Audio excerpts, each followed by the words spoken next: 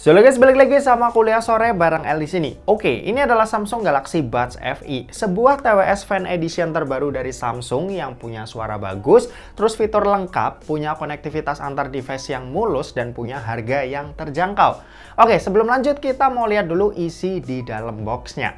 Pertama tentu aja ada charging case dan earbuds yang ada di dalamnya ya. Terus habis itu ada buku manual, ada kabel C2C, ada ear tips cadangan ukuran S dan L, dan ada wingtips cadangan cadangannya juga.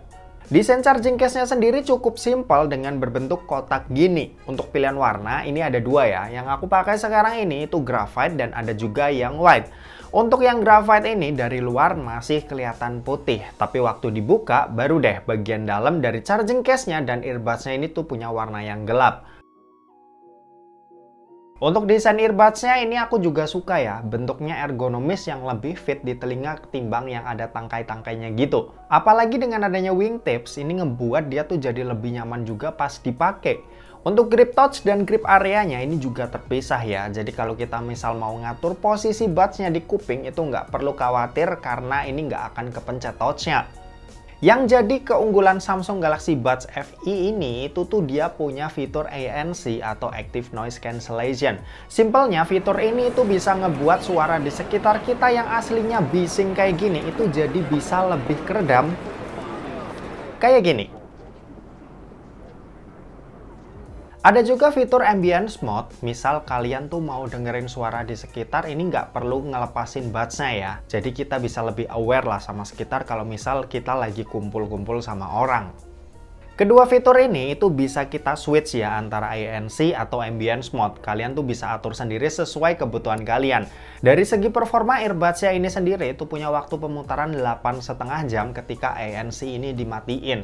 Tapi kalau ANC diaktifin ini sekitar 6 jam. Kalau sekalian pakai charging case-nya ini bisa dapetin waktu di 30 jam kalau ANC dimatiin dan 21 jam saat ANC ini dinyalain.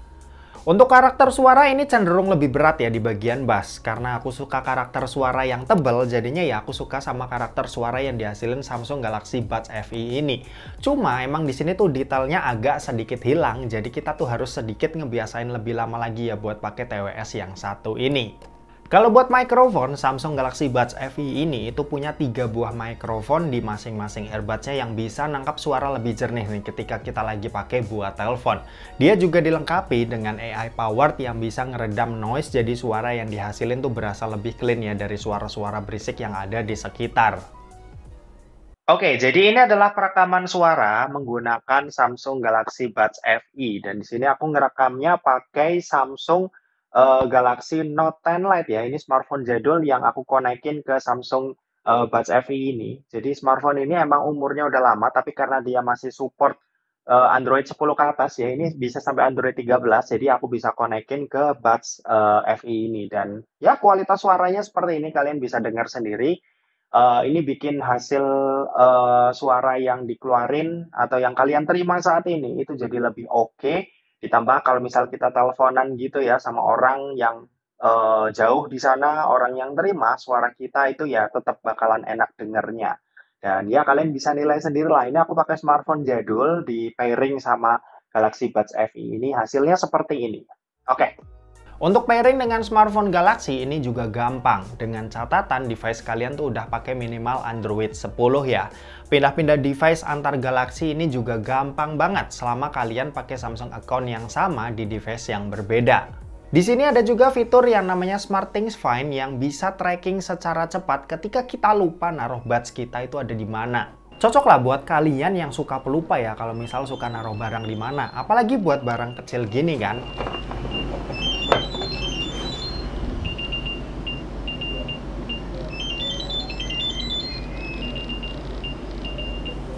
Oh ya, yang nggak kalah penting, material dari Buds FE ini itu pakai plastik daur ulang yang berasal dari jaring ikan dan tong air.